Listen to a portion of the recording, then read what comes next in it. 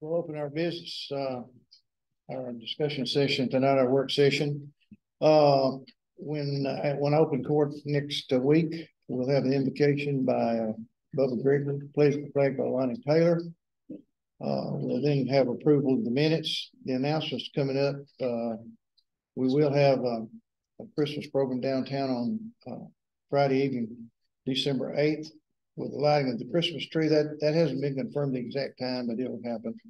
Uh, Cliff Salee and his staff did a great job of, of putting up a tree that they'd never put up before. Uh, and they didn't want to wait till later on in the Christmas season in, in case they ran into problems, but they didn't run into problems. And Cliff has promised the tree won't be up as early next year, but it will be up. Um, We'll look at any amendments to the agenda at that point. Uh, the mayor's report, I'll pass on that tonight, but I'll have a report on some things that are going on. Uh, and bring you up to speed on where we are on a number of projects. Uh, then we'll have committee reports. And, uh, under active business, uh, we have some appointments for the Emergency Communications Board Industrial Development Board Fire Chief, and I'll discuss that in some detail. Uh, unless anybody has questions about that tonight.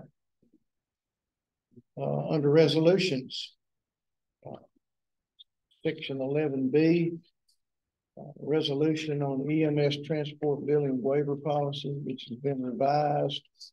Any discussion on that tonight? That's up to you. Anyone Ms. Russell, do you want to have any comments on that tonight? Um, I don't think that, uh, before we had laid out what all qualified for the hardship. Um, and, uh, what, that, that will be taken in- into consideration, uh, going forward. Whether or not they're, if they're paying for it, and they'll have, it's an income-based type of, of, um. Uh, viewing, um, to see whether or not they can qualify for the hardship. And I'm not sure if it'll be a one or two person, um, uh, committee that will decide that over at EMS. But that's a new process that will start and, um, you know, it's, it's new. So it'll, um, it'll be worked out you know, as, as we go. Any issues, issues come up, I'm sure that, you know, we can work on fixing. Public hearing, really school station. We're just looking at some too. Uh, under ordinances. I'm sorry. Not for your other resolution. Oh, that's right. Uh, we did, uh, present in budget finance tonight, another resolution that will be coming up next week involving applying for a connected community facilities grant. Uh, it's a two million dollar grant, up to a two million dollar grant with a ten percent match. And I'll be bringing more details to that to the court, uh, next week. But that, uh, that resolution will also come before the court then. Under ordinances, we'll have public hearing and second reading of uh, two ordinances that can be taken together. That's ordinance 298 2023 35 and 299 2023 36. Rezoning on Highway twenty-five west. They can be taken together. Uh, as far as the planning office manager, uh, Rosalie Mahan, uh, both of these ordinances will be presented for public hearing and second reading. And we'll ask for questions on those two. Uh, there'll be a first reading on ordinance 300 2023 thirty-seven. Rezoning from R two to R three, five parcels in Green Top. Ms. Mahan, you want to make, address those, please? Certainly. There's five lots up there on Green Top the land own. They've been working diligently on and clearing off, and they would like to, they're going to be combining these lots and they'd like to rezone it to R three. So if you look at the map, you see that there is a lot of R two on the street. But then, um, the map doesn't necessarily reflect all the different R threes that you guys approved. For instance, up there at the little, you remember Mr. Goat? Did the R three on that one lot, and then we did the, um. Court over there on West Main, it's also in this vicinity, of the zoning that doesn't quite see, show that, there is some R three in the area as well. Mhm. So are they wanting to grow like houses? future development. So with R three, that is multi-family, Right. and there are other multi-family, you know, zones right there in that area as well. VNRC, um, let's see, how many did they say? Twelve multi-family units, but then we calculated it, they could have up to thirteen multi-family units on those five lots. Because is if you combine it all together, it's one point one acres on Green Top there. Yes, sir. You said five lots is one point one acres. If you combine all those five lots, it- comes out to be one point one acres. Yes, sir. And these lots are already R two, so they're already multi-family. You can already. put your taxes on it, yes, sir.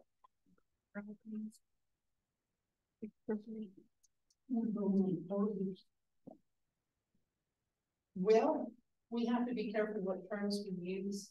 It could be apartments, it could be townhomes. They say future development, because at this time with rezoning, they don't have to necessarily say exactly what they're doing with it. But they are looking at multifamily units. Um, Ms. Ruffin? Can you, can you give me a general on where this is? Okay, um, let's see, you know where the old popcorn factory is? It's a street over, over there on Church Street. If you go up there, past the old popcorn factory, that, uh, street right there, that's Foxhall. Up there at the top of the map, and so the next street over, as you're going up towards the hospital, is Green Top. Oh. They're gonna have a church.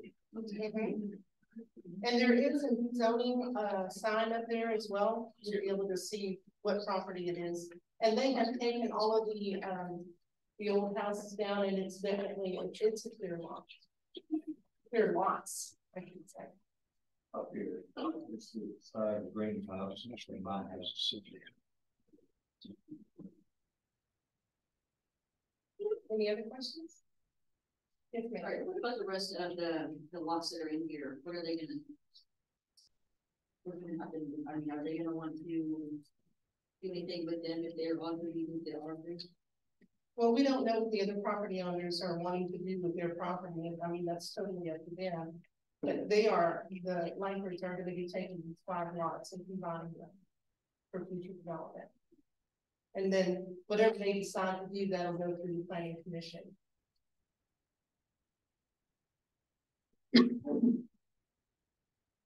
Yes, sir. So the discussion in planning, when this came before us, um, last Monday, um, we have had a planning commission that has been very consistent in not sending a favorable approval on rezonings to R three and R one subdivisions, um, neighborhoods.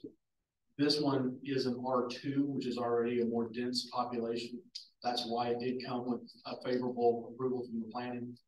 Um, looking at the already existing R threes, it just seems like that seems to be the trend, that we're taking these smaller lots, running up, um.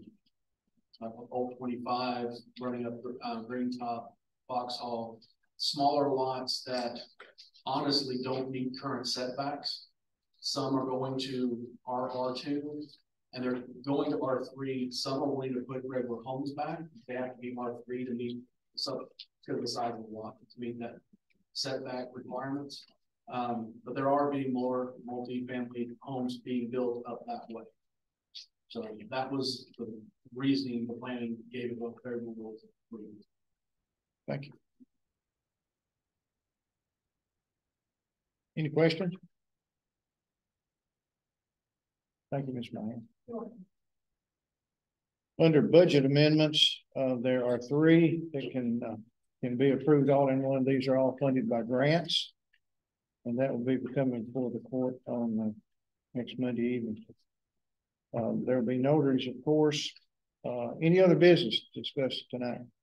Come before the court, anything? Yes, sir. So you were talking about the, uh, proposed possibility of us getting the, uh, the grant, the ten percent match on the two million. Yes. Of the grants that we've gotten. This is the last, the last ten years. How many of those projects actually we, where we didn't exceed the initial match that we put in. Are any of those, or have, have they, it seems like every time we get in to one of these grants, it sounds great, they're giving us money. But we ended up having to put extra money in to get the projects completed. I can't give you a lot of history on that because I haven't been here that long. Yes, sir. Amy, can you help me on that? I don't have that information in front of me. Um, I know streetscape is probably the one that's on everybody's mind right now, and yes, that got out of control for lack of better words.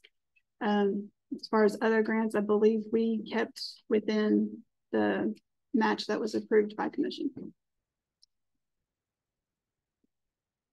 Any other business? Yes, sir. Question on, on the, uh, the, um, the housing grant, uh, do we know roughly how many houses that, that, that five twenty-five is in there? I believe it covers six, maybe seven homes. They've already been chosen. Um, and I think one, that they've already started the process, so one's already being looked at and, uh, evaluated. I think one's a complete rebuild too, isn't it? I believe you're One's right. a complete rebuild. Any other business? Come forward, court. Yes, One more thing, um, I was looking at the minutes for the last, uh, law enforcement meeting. And I found something troubling. The sheriff stated in that meeting that he didn't understand why he was being given an eighth position for dispatcher. And I find that a little troubling, because he's the one who came before us asking for it. Right. It was explained to us during last month's meeting when we voted on it by Budget and Finance that there had been a confusion during budgeting, and this was to rectify that confusion. And based on his statement, it seems like it just created even more confusion, but now it's costing the taxpayer money. any other comment on that? Or anything else?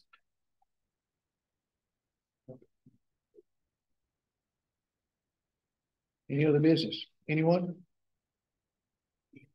Yes, sir. Can you give update on the warehouse? Uh, I was promised today or tomorrow that the initial EPS, EPA phase one would be completed. Uh, I was in the building this past week with the person, with the structural engineer, and he's gonna do a two-week study in December, so that's what we are. So that is moving forward. Any other questions? Yes, sir. Uh, can Mr. Bill give us an update on the courthouse? Yes, I am still waiting on a report. Uh, I've not filed suit against them. I've got my letters to them with the itemization of everything that they're required to do. I just need to back it up with the report from the inspection that went through the courthouse, which has not been, You still haven't gotten, no, sir. when was that inspection done? It's been, In October. And I've, I've made multiple requests for it, so. And I've had others do it too, so. Um, uh, others have reached out. Yeah, but Ms. Ms. Atwood actually reached out to, Ms. At- uh, Commissioner Atwood, you've not heard anything either, have you? Yes, sir. Okay, I'm still waiting for it as well. flat fire. I think. well, I hate to have to write so many letters just to get a simple report, but, you know, The call's been notified, but I have actually called the state, but I'm still waiting. Um, we'll plan to follow up with her tomorrow. To see if I can get back. I'm ready to go as soon as I, I have that in hand, sir. Anything else? Yes, ma'am. Um, I had two things. One, this paycheck stuff, does that have anything to do with ours? Um, two, uh, did you want to, uh, Mr. Miller, talk about the, um, the people that came saying that the election was incorrectly done? Yes, I'll give you a, a report, uh, an oral report. I've done, I wanted to have in my hand tonight. Uh, at, at least an email I could hand out to each one of you to not be concerned about that. I spoke with Mr. Paxson at length. He spoke with Mark Goins, who's with the, uh, state election, uh, office, commission office. And, uh, they get that as a matter of course. Uh, and that's the same letter that's circulated. It's gone to different states they just pick and choose kind of a scare tactic or whatever else. They file lawsuits from time to time. They've never been successful on any one of them.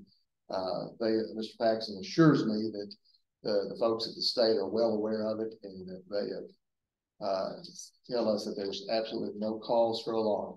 And I'm waiting for, uh, maybe a, a written legal opinion from their counsel, which is what uh, Mr. Paxson indicated he'd get to me. And I'm just waiting to be able to disseminate that to you, so you can have that, okay? Any other business? Um, to answer her other question on the pay stubs that you all received in your packet, yes, that is for y'all. Um, I noticed that some of you have not uh, registered for that software. You can go online, see your pay stubs. Your W twos will also be on there when that time comes. Um, I believe that was handed out maybe six months, maybe a year ago, but it's just reminding you that that option is out there for you. Questions? Not, I'm entertaining a motion to adjourn. Motion, second. All in favor, say aye. Thank you very much. Thank you.